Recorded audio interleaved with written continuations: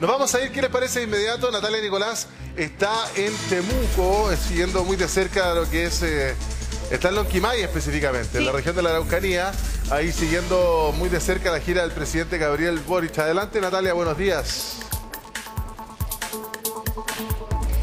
Hola, ¿qué tal? Así es, el presidente Gabriel Boric pasó la noche acá en la comuna cordillerana, en Lonquimay, precisamente en la zona alta de la Araucanía y hace tan solo algunos minutos él llegó al municipio de Lonquimay precisamente para realizar y entregar una entrevista a la radio local. Poco antes de entrar a la municipalidad y después de saludar a las autoridades, él fue a saludar y se dirige, tal como ustedes pueden ver en imágenes, hacia las personas que se encontraban tras las vallas papales y que vinieron a saludar al presidente, agradecerle también que visitara su comuna. Tratamos de conversar con él sin embargo, dijo que mm, para más tarde va a quedar esa conversación, pero manifestó que estaba esperanzado y bastante contento con su visita acá a la región mm, de la Araucanía.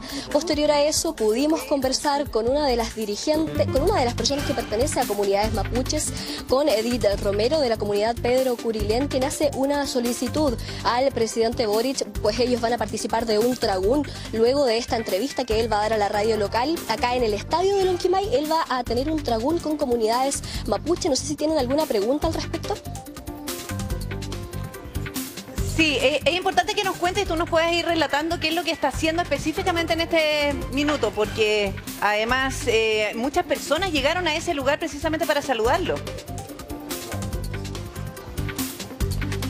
Así es, muchas personas llegaron a saludarlo y a diferencia, quizás, eh, por ejemplo, en Temuco, él no se dirigió hacia donde estaban las personas tras las vallas papales, pero en Angol el día de ayer sí, y también acá en la comuna de Lonquimay mantuvo de hecho algunas, algunos pequeños diálogos con las personas que eran trabajadores de centros de salud, entre otros, manifestándoles que iban a conversar con el alcalde de la comuna para ver en qué podían mejorar y que estaban esperanzados en aquello. Como les comentaba, la agenda de él es posterior a esta entrevista, porque él ahora está al interior del municipio, va a dar esta entrevista que ustedes pueden escuchar eh, eh, en vivo por el canal oficial, y luego él se traslada entonces al estadio de Lonquimay a, conversar con las comunidades. ¿sí? Natalia, eh, finalmente, ¿dónde alojó el presidente? en la zona alta de la comuna de Lonquimay. Ahí se estuvo hospedando el presidente Gabriel Boric. Ya, ok. ¿Y cómo se ha, visto el clima hoy en la Araucanía? No fue en un destacamento. No, claro, en el fondo no fue en un regimiento o un destacamento militar como se había especulado en, algún comienzo. Ahora, el ambiente, la gente ya eh, es más tranquilo. Eh, ¿Hay una diferencia? Te lo pregunto eh, porque luego de que lo, lo, vimos acá ayer en vivo, los anuncios del presidente respecto de cuál va a ser el plan de acción eh, que dio ayer y todas las repercusiones respecto de haber señalado que hay actos terroristas. ¿Cómo, cómo está el ambiente? Eh, ¿Se puede describir el ambiente previo a esa declaración del presidente y el, y el ambiente post declaración del presidente? Sí, o sea, hubo reacciones por parte de, parlamentarios, parlamentarios de oposición valoraron las palabras del presidente, también conversamos ayer con el presidente de los agricultores Mayeco, ellos eh, dijeron que cambia en parte la perspectiva que tienen de ellos porque eh, él hace esta, este comentario o estas declaraciones al mediodía tras escuchar o tras tener una reunión con víctimas y es ahí entonces cuando cambia quizás eh, el panorama de todo esto. También lo conversamos ayer con la diputada Erika Ñanco, quien es de oficialismo. Ella dijo que era una declaración compleja, que ataques incendiarios eh, había en todo el país. Eh, eh, finalmente dio a entender que no estaba muy de acuerdo con las declaraciones del presidente Gabriel Boric. Pero lo cierto es que el día de ayer se realizaron en dos lugares reuniones con, con víctimas de violencia rural y el día de hoy ya hay un encuentro entonces programado con comunidades mapuche de la comuna de Lonquimay. Perfecto, Natalia, muchísimas gracias. Seguimos en contacto en cualquier momento para las novedades de lo que es eh, esta gira del presidente por la macrozona sur. O la Araucanía, más bien, para ser específico. Francesco. Bueno, Repe, mira, estamos con dos invitados bien interesantes que nos van a ayudar a, entender justamente si lo que hizo el presidente ayer, porque hoy día estamos esperando lo que tenga que ver con un, anuncio con respecto a tierras, que va a ser bien relevante, según lo han, han anunciado ahí desde la moneda, pero Germán Codina, alcalde de Puente Alto, y Raúl Leiva, diputado del Partido Socialista, nos acompañan. Y con ustedes queríamos tratar de, de dilucidar si finalmente estamos en un entuerto más bien político y de sacar ventajas por lo que dijo o no dijo, o si realmente fue o no contundente, porque se ha robado las portadas y los titulares la apreciación que tiene el presidente con respecto a los actos delictivos o de terrorismo, actos con carácter terrorista, como dijo, más allá de la serie de anuncios, y finalmente de lo que se ha hablado justamente de eso, que fue una pregunta que hizo ahí un colega, y si eso, por lo demás, Germán Codina, eh, va a generar, por ejemplo, cambios en la legislación, él dijo que las herramientas que tenemos como la ley antiterrorista no es funcional, o... Eh, como otros dicen que todo acto no es más delictual, no es puramente delictual, sino siempre terrorista. ¿Cómo lo ve usted? Bienvenido. ¿no? Sí, gracias. Bueno, Hola, hola, Raúl, hola a todos. Hola, alcalde. Eh, mira, primero creo que hay que comenzar eh, valorando la visita del presidente. ¿ya? Eh, no es algo que deba pasar inadvertido, es algo que además se reclamaba por parte de quienes viven en la zona.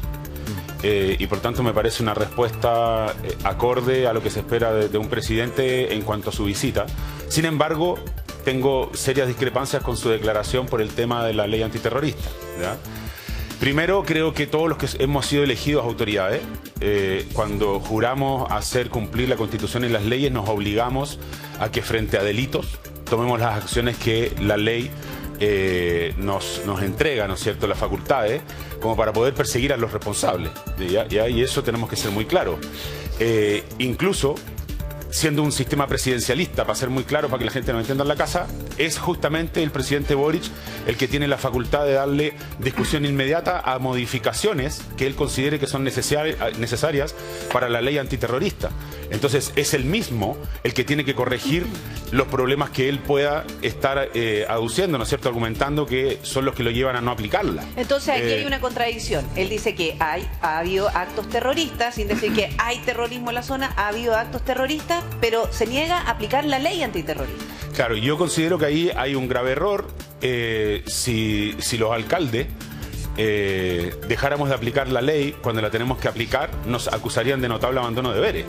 A mí me parece que es gravísimo que el presidente de la República reconozca que hay actos terroristas y la facultad que tiene de invocar la ley antiterrorista eh, no la esté utilizando. Y me parece incluso eh, que es dejar eh, desprovisto de ciertos resguardos legales a la, a la población del sur, ¿no es cierto?, que está sufriendo estos actos, entendiendo también que hay una base muy compleja eh, en el problema de la Araucanía. Nadie lo niega, ya que este es un tema que eh, no se soluciona solamente con la ley antiterrorista. Pero sí la ley antiterrorista es necesaria cuando tiene gente que ha fallecido, tienes los Lusinger Macay que fueron asesinados. Pero él dice que la ley antiterrorista no, llega, no, no, nos lleva a buenos resultados. Pero él dice que afecta, que la ley antiterrorista casi que le ha hecho daño, creo que usó, usó un término sí, así. daño a la región, al país. Da, no, y, y, y, daño a las víctimas, perdón, a las víctimas no les hace daño si lo que hace es perseguir a quienes ya, son pero, los alcalde. Perdón, perdón, perdón que lo interrumpa, pero a ver, eh, ex fiscales, experto en derecho constitucional, Alejo Aprais, que fue entrevistado por T13 Radio hoy en la mañana, que es presidente de la Asociación de Víctimas, que se juntó con el presidente, todos coinciden en que muchas veces los casos es mejor perseguirlos por la ley de control de armas que por la ley antiterrorista. Porque la ley antiterrorista tú tienes que demostrar, primero, que la persona cometió el acto y segundo, que hubo una intención política o de infundir miedo y en eso se entrampan los juicios. Yo eh, Entonces, entiendo eso. si estas personas en general dicen que conviene más otro tipo de persecución, este, este discurso, que, o sea, esta, esta, posición suya de que tiene que ser siempre la ley antiterrorista, se cae. No, no, no, yo no he dicho que sea la única vía. Pero y está, está claro que el presidente. No, no, no, pero, pero está claro, está claro que eh, la ley debe ser corregida. Yo eso no lo estoy poniendo en duda. De hecho, te lo reconocí hace, hace unos minutos diciéndote que es el mismo presidente el que tiene que poner máxima urgencia para que se corrija. Llevamos 10 años eh, en eso. El, y el, pero lo que sí me parece muy grave es que estando el presidente de la Araucanía anoche, por ejemplo, en Coyipulli, también hubo actos terroristas. Entonces, ¿qué es lo que te quiero decir?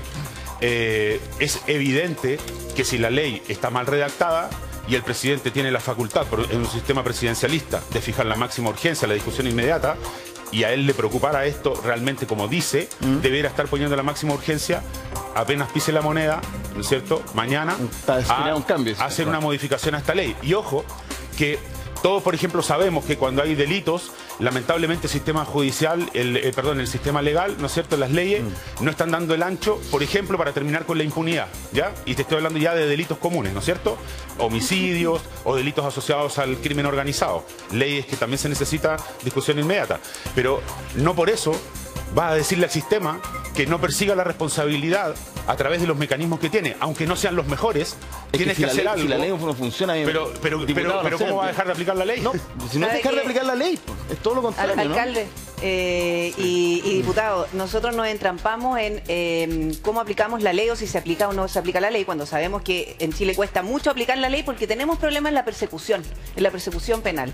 Y probablemente también el mayor problema que hay en la Araucanía es precisamente eso, cuando los fiscales son amenazados, cuando los jueces también son amenazados, cuando se ha, ha planteado tantas veces que no sean de la misma región para evitar ese tipo de amenaza o a lo mejor que no tengan rostro. No sé, ese punto también no nos podemos saltar. Mira, eh, hacernos cargo de toda esta problemática que es una problemática muy compleja, multifactorial. Esto no se resuelve con una declaración disonante en favor de uno u otro tema. Esta es una materia que hay que asumirla como Estado, no como desde una trinchera política.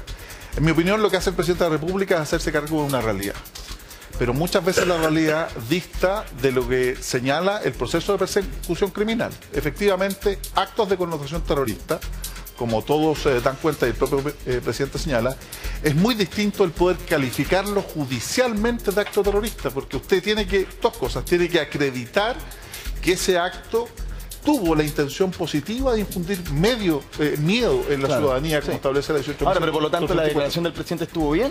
¿O- en o mi opinión, va en el sentido correcto. Fíjese usted que los últimos resultados del punto de vista eh, judicial de condenas efectivas, por ejemplo en el caso Bomba, más de 40 años de condena, efectivamente se obtienen con otro tipo de normas.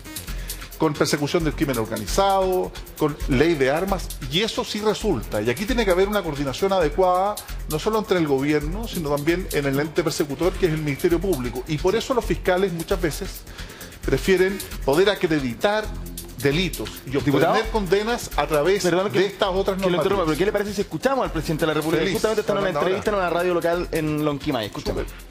Lo que, lo que acá- Nosotros tuvimos como gobierno, y hay que, creo que es importante reconocerlo, un paso en falso en nuestra primera, en nuestra primera visita, eh, en donde pecamos de, de voluntarismo y donde tuvimos incidentes muy complicados con nuestra, en, en ese momento que afectaron a nuestra ministra de Interior de entonces, a mi querida compañera que le mando un saludo, eh, a Isquia Siche. Y dimos cuenta de que la situación en la Araucanía hay que abordarla con, sin atajo sin atajos y acá no se pueden hacer maniobras comunicacionales, sino que uno tiene que venir con una agenda sólida, robusta y por eso nos demoramos en prepararlo, pero creíamos que era importante para no decepcionar a la gente, saber que acá en la Araucanía están cansados de promesas y que los habitantes de la Araucanía tienen el derecho a vivir en paz. ¿Qué es lo que vimos ayer, eh, eh, diputado alcalde? Voy por usted, diputado. Sí. ¿Qué es lo que vimos ayer? ¿Fue una lista de supermercados, una declaración de intenciones eh, o efectivamente una, una declaración sólida que se, se puede acercar? Yo lo digo descaradamente porque la lista de supermercados Sí. en todas partes de Chile se, se- se ha hecho. En Chiloé se ha hecho, en el norte se ha hecho. ¿Sabes lo que pasa, Repe? Que este no es un problema que viene de ahora. Ya han existido 20.000 No, sí, soluciones. estamos que esto no es culpa jungla, del militarización. Entonces yo creo que hay que ser capaces de asumir con seriedad y responsabilidad esta problemática. Y yo eh, felicito las declaraciones del presidente. Hacerse cargo de la realidad. Aquí, lamentablemente, nosotros como Comisión de Seguridad Ciudadana sesionamos en la Araucanía de manera transversal. ¿Qué cambió? ¿Qué cambió? Porque el, el- el- el presidente Boric, de, del volun- de ese voluntarismo que habló de la, la visita eh, de, de Ike en una vez iniciado. ¿Qué, qué cambió en el gobierno, en el espíritu al, al, al Boric ahora? Porque no es el mismo. No es el, pero, no es el mismo. Pero fíjense lo importante, Repe. Hay un presidente que se da cuenta de los problemas que asume y de los errores que comete y los enmienda. Yo creo que ese es un tema súper importante, hacerse cargo de una realidad. La bancada de la Araucanía que ha trabajado ha dado cuenta, el presidente fue, está preocupado. Si el presidente Boric, muchos lo motejan de una u otra manera, también es chileno y se tiene que hacer cargo de la realidad y también de los errores que ha cometido el gobierno. Y yo prefiero un gobierno que se da cuenta de la realidad, que asume los errores, pide disculpas, pero los enmienda.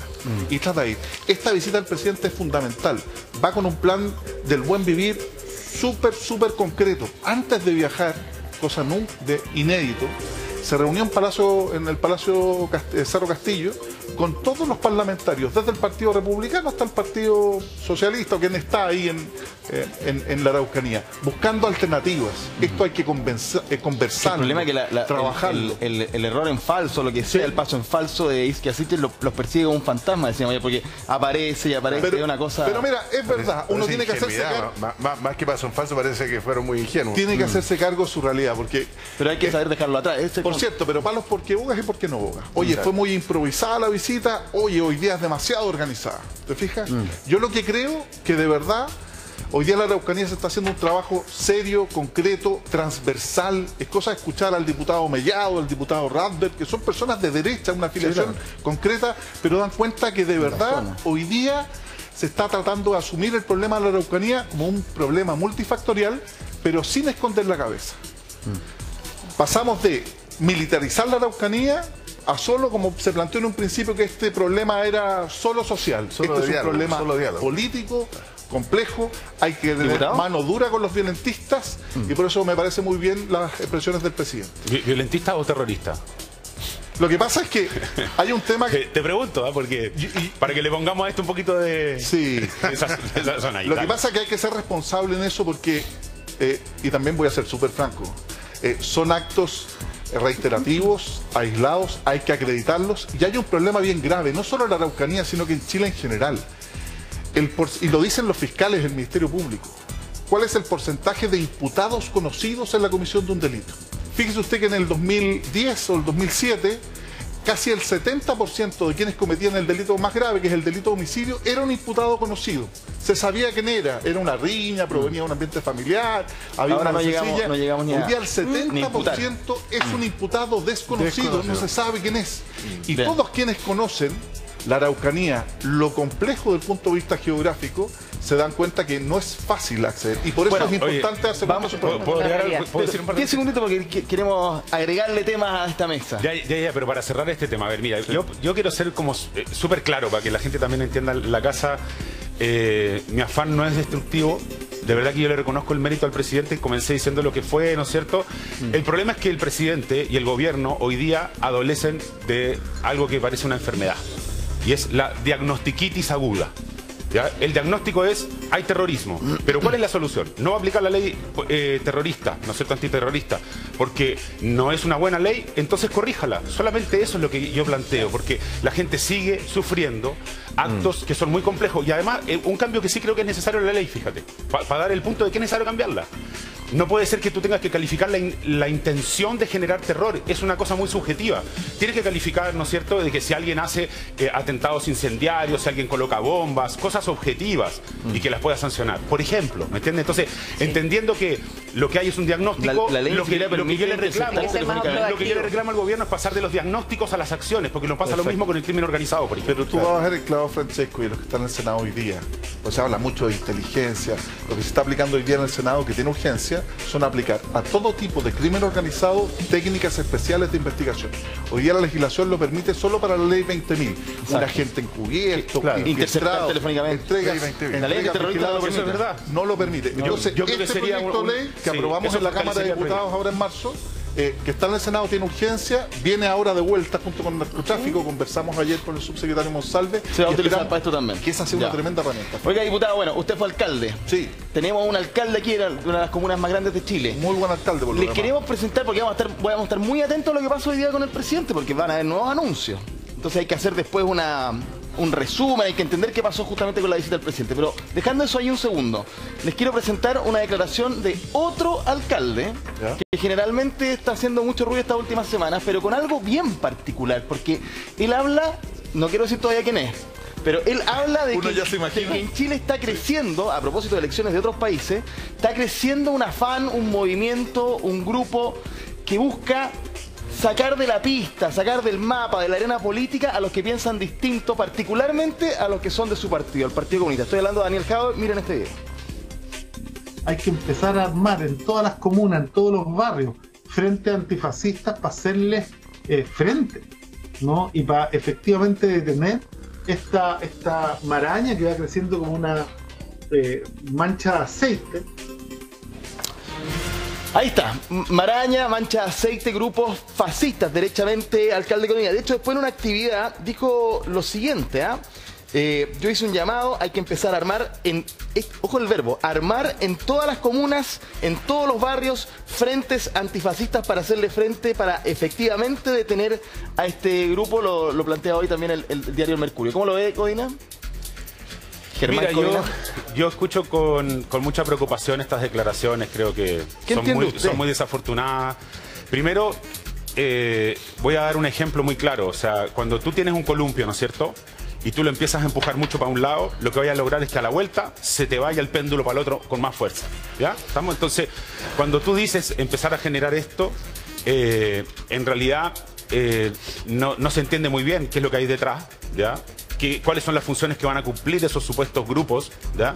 Pero ¿cómo lo entiende usted? Mira, yo, yo siento que este tipo de declaraciones son las que contribuyen a la polarización. Y de verdad que por lo menos yo he hecho un esfuerzo de ser responsable en mis declaraciones. Incluso antes tuviste lo que acabo de decir sobre Pero el a la presidente. polarización. re- reconociendo a, a la polarización. a la polarización Sí, política. pero, ¿Por qué? es ¿Por que qué? yo le quiero hacer solamente un paréntesis.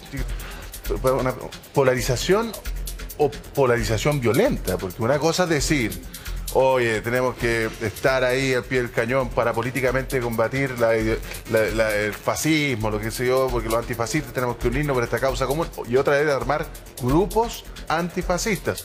¿Qué es eso? ¿Qué son Sí, grupos pero antifascistas? eh, solo, solo cerrarlo en que. O sea, que- porque me- yo me, me empiezo a acordar de los camisas negras, de los camisas pardas, de, o sea, pucha, yo no Yo- sé, no, de- no quiero ser exagerado, política. pero, pero Por si eso, el péndulo se tira para un lado, después se va a la Mira, mira, lo, lo grave, pa- para que también todos podamos opinar aquí, eh, lo, lo que considero grave y por eso considero muy desafortunado lo que él dice, es que lo que va a hacer es eh, profundizar una polarización política, ¿ya? Y en segundo lugar, abrir la ventana para la violencia. Y lo que tenemos que hacer es justamente buscar el entendimiento, el diálogo y sobre ese, sobre ese mecanismo poder construir un país más justo, más equitativo, donde haya justicia, donde no haya impunidad, ¿me entiendes? Entonces creo que esto es un tremendo error de Hadwe, ¿ya? Eh, y yo lo lamento profundamente, porque aunque te parezca increíble, como lo conozco, igual en lo personal le tengo cierto aprecio. ¿Me entiendes o no? ¿Usted habla con él En lo político no coincido en nada con él. Alcalde, ¿ya? ¿y usted habla con él habitualmente? ¿Ah? ¿Habla con él habitualmente? No, hace mucho tiempo nosotros nos alejamos mucho con lo que pasó en la Chifar. ¿ya? Estamos, yo soy bien crítico de lo sucedido, de hecho yo pedí una auditoría en el directorio y logré los votos para que el mismo directorio de la Chifar hiciera una auditoría sobre el manejo de los fondos. Las Y farmacias como la- populares, Y como que la auditoría... Las farmacias populares, Y como que la auditoría, y como la auditoría no se hizo eh, en los tiempos que nosotros consideramos necesarios, ¿no es cierto?, y apropiados, terminamos también como municipalidad saliéndonos cuando nos enteramos de muchas cosas por la prensa. Cheques sin fondo, pero eso no, no terminó con un resultado de condena en la justicia.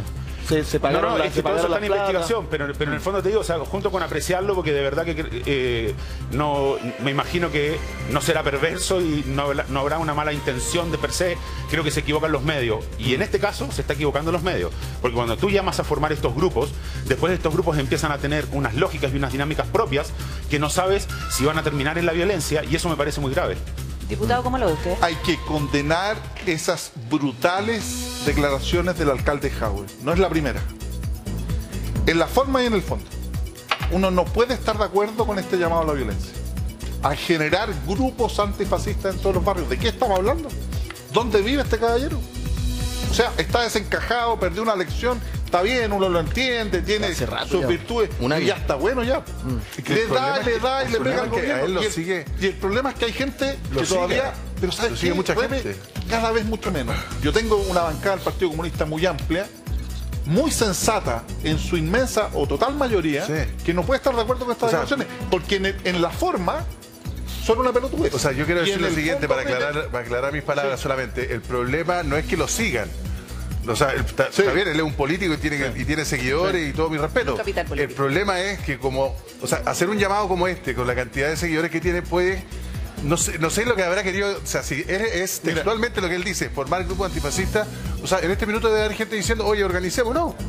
es de una irresponsabilidad brutal. Primero en la forma y también en el fondo. Porque uno entendería que quien es de izquierda, del Partido Comunista, que cree en un Estado fuerte, no puede solicitar o requerir la ausencia total de Estado, que es la autotutela, la autodefensa. Eso es la negación del Estado. Entonces, yo no puedo coincidir con el alcalde Jaue en la forma disonante, siempre tratando de salir en la prensa, figurar por este tipo de declaraciones que deben ser condenadas por todo el sector Ahora, político, pero además en el fondo, alguien que quiere un Estado fuerte no puede pretender la ausencia del Estado, que es la autotutela, que es la negación absoluta de todas las garantías y derechos que tenemos En este programa, que es Sin Maquillaje, que es un programa de YouTube donde participa siempre el alcalde, eh, ha planteado más de una vez que existe en Chile y va creciendo un anticomunismo, una idea de dejarlo fuera del mapa, particularmente a él y, y grupos que no necesariamente tienen representación parlamentaria, pero dentro del partido.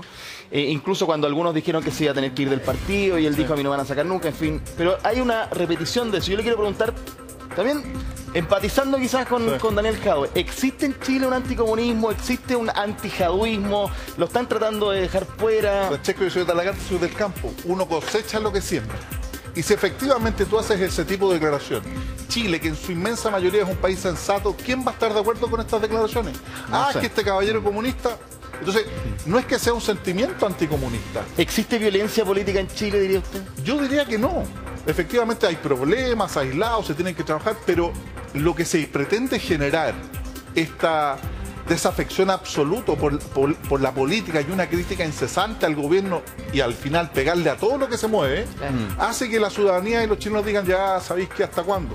Nos pasó, disculpa que me salga el tema, en la Cámara el otro día, que alguien vino, que tenía contrago, no tenía trago, al final todo se concentró En ese tipo de Y declaraciones. no se sabe, y, yo y siempre- desconocemos el trabajo que se está haciendo realmente. Yo siempre digo lo mismo, fíjate, de derecha, izquierda, de todos lados, en los alcaldes pasa lo mismo. Nosotros podríamos ponernos a apelar al alcalde o diputados o conductores, pero la inmensa mayoría, fíjate, hace la pega, es gente responsable y por eso este tipo de declaraciones no contribuyen al clima político. ¿Hay fascismo en Chile? Yo diría que hay grupos que están tratando de imponer eh, conductas neofascistas. Yo estoy de acuerdo. ¿Qué es neofascismo?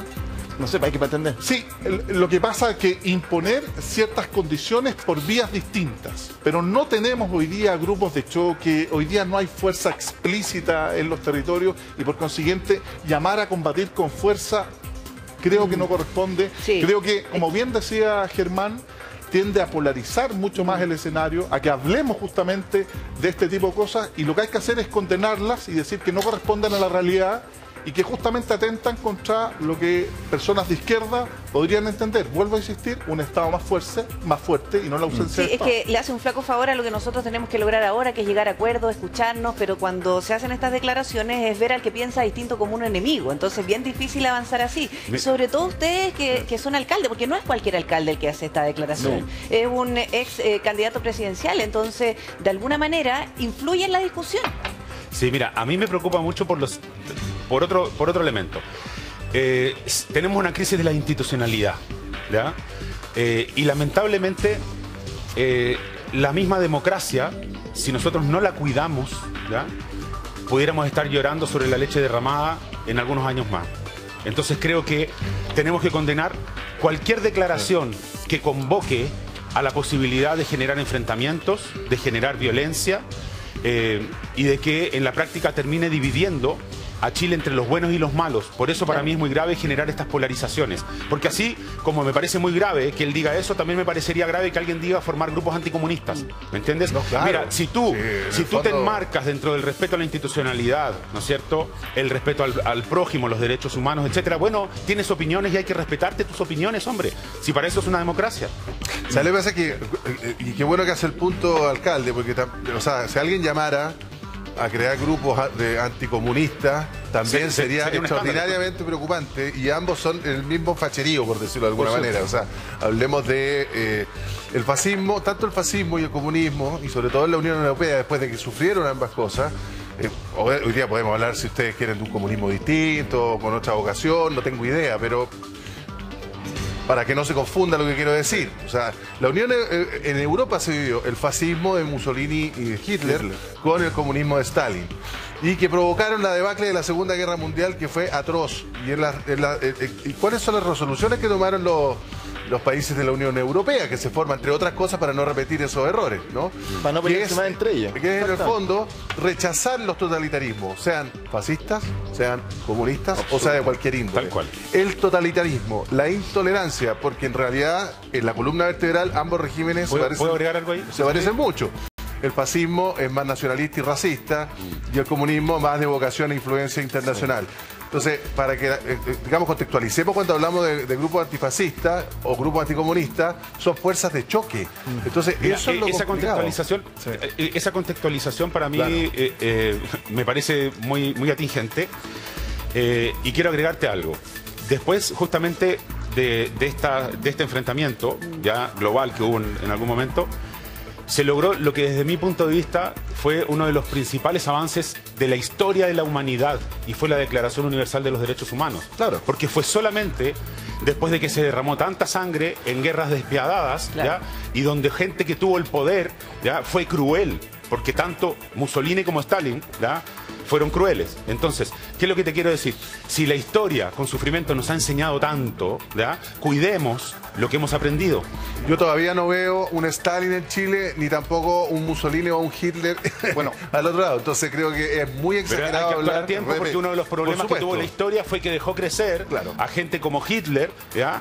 Y y los ninguneaban políticamente Sí, no, por y decían que no iban a llegar a Y nada acá y, resulta que después los tuvimos tuviste de Facha líderes. Libertad y, y también movimientos de izquierda de choque. O sea, Eh, tuvimos, en tuvimos Chile eso. también violencia tuvimos política violencia callejera. experiencias, tuvimos una dictadura atroz, eh, aprendemos, tenemos que aprender de los errores. Y por eso lo fundamental, Repe, y, y coincido plenamente con Germán, es que esta política autoritaria de cancelación, de degradación Claro. del ejercicio democrático nos hace mal, pero a todos.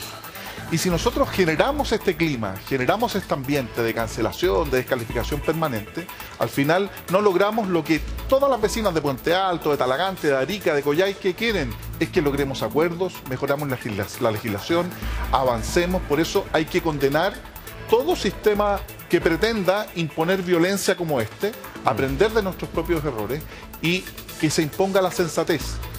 Créeme, yo siempre reitero lo mismo, hay una la, la inmensa mayoría de las personas que participan en política lo hacen por una vocación genuina y que efectivamente queremos buscar acuerdos, ser capaces de no descalificar al otro, entender que piensa distinto, pero sentarnos en una mesa. Y cuando nos sentamos en una mesa a conversar, a negociar, a dialogar, entendemos que ambas partes Pero, tenemos que ceder.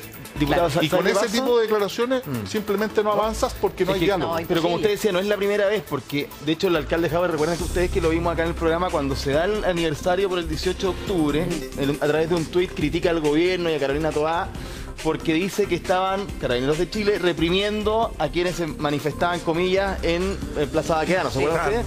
Y está- está- dice, a tres ¿verdad? años la represión sigue intacta, impresentable e incomprensible. Bueno, lo que Realmente nada ha cambiado. Claro, y ese tweet fue, generó polémica, porque es nuevamente un palito en, en la rueda más importante que era la seguridad para ese día. Claro.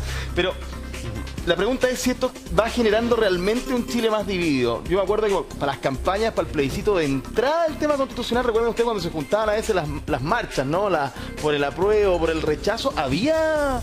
Se peleaban la gente. pegaron sus palos, y, eh. y no lo veíamos hace muchos años en Chile. Y, y la cosa, y o te tiraban huevos desde las ventanas, hacían de todas cosas. Pasaron cosas. Periodistas golpeados. Sí. Entonces la pregunta es, ¿en Chile se, eh, se está generando una cuestión que puede crecer o no? Yo creo que no, fíjate. Yo creo que todo lo contrario, estas declaraciones no dan cuenta de la realidad que hoy día vivimos, producto de los propios eh, resultados que hemos tenido, incluso desde el punto de vista electoral, social. Lo que debe existir es un clima de diálogo, que avancemos más rápido en soluciones, y por eso yo reivindico y saludo las declaraciones del presidente Boric. Oye, hay cosas que hicimos mal, ahora hay que hacerlos bien, hemos cometido errores, vamos a avanzar. El trabajo que se hace en materia de seguridad es un trabajo extraordinario, que no es de ahora, y que lo encabeza la ministra Toá y el subsecretario Monsalve, y tenemos que apoyarlo. Lo vemos en la Comisión de Seguridad Ciudadana, aprobamos los 13 diputados que van desde los comunistas al republicano, eh, aprobamos proyectos de ley que pretenden mejorar la legitimidad del ejercicio de la policía, mejorar la persecución criminal, y esa es nuestra pega al final. A mí no me pagan por hacer declaraciones, nos pagan muy bien, por hacer declaraciones disonantes, por estar siempre peleando, sino por generar cuerpos legales que ayuden, en definitiva, a mejorar la calidad de vida en nuestro país y reivindicar algo tan necesario que es el orden público y el Estado social. Sí, por eso, por eso la, la yo, yo no responsabilidad coincido que en algo con Raúl, puedo, Sí, puedo sí, decirlo sí. así.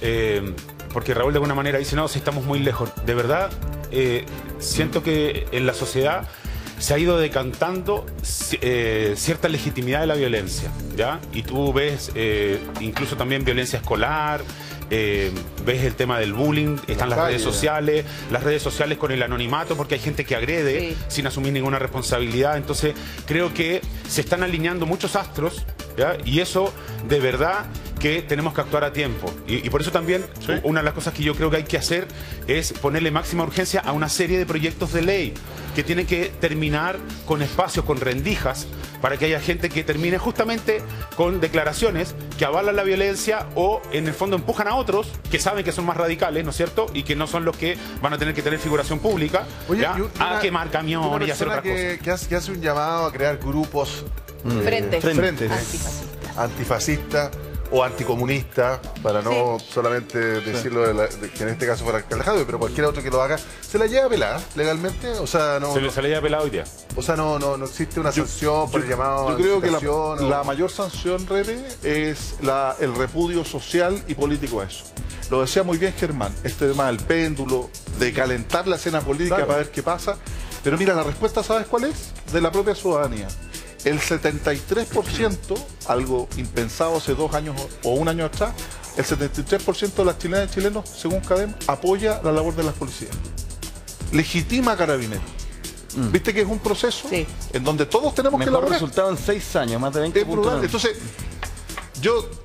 Está bien, hay que siempre ser un poquito alargado con estos temas, ponerle paño frío, pero yo creo que la sensatez en nuestro país se está imponiendo. Fíjate que lo vemos en el Congreso, logrando acuerdos, los municipios que se unen en sus objetivos comunes y también es responsabilidad nuestra aislar este tipo de declaraciones que son absolutamente inconducentes, porque nada bueno puede tener esa declaración. Sí, el tema es que cuando eh, más del 70% también de las personas que están preocupadas de avanzar en eh, terminar con la, con la delincuencia y los alcaldes son fundamentales en eso, los reciben también representantes de gobierno y tengo entendido que el alcalde Jadwe, por ejemplo, no acudió a esa reunión. ¿Usted fue a esa reunión con, la, con el gobierno? ¿A, a cuál de todas? Porque La de la semana pasada. Que estuvo no en sé, Matei, no, sé- Boamé. no sé. Yo, yo estuve, yo estuve en una en una reunión donde eh, estuvo la alcaldesa, la alcaldesa Matei, el alcalde Bodanovich, eh, la alcaldesa de Vitacura, Independencia. eh, mira, no, en No esa no estaba, en esa no estaba él. No, no sé si, me, me imagino que habrá sido invitado como, como integrante del directorio de la asociación. Eh, pero pero, pero quiero, quiero también volver un poquito atrás, porque es cierto que eh, eh, hay un alto porcentaje de gente valorando el accionar de los policías, pero también tenemos un 70% de gente que te dice que eh, cuando se va el sol prefieren quedarse guardaditos en la casa porque sienten miedo de salir a las calles. Entonces, hay violencia. Tenemos una semana donde ha habido una cantidad de homicidios atroces, ¿ya? Creo que esta ha sido la peor semana Sí. eh, desde tal vez el retorno a la democracia, ¿ya? Entonces, Chuta, eh, la peor semana del retorno eh, a la es democracia. que estamos hablando de una cantidad de homicidios enormes. Lo vamos- que lo ha vamos a crecido revisar. 80%, 80% los homicidios en los últimos ocho años. O sea, Sí. eh, estamos casi, du- se han casi duplicado. Sí, es cierto, Entonces, pero, pero es un tema que vamos a, a plantear eh, dentro de los próximos minutos, alcalde, para verlo con mayor detalle, porque eso no lo podemos dejar pasar.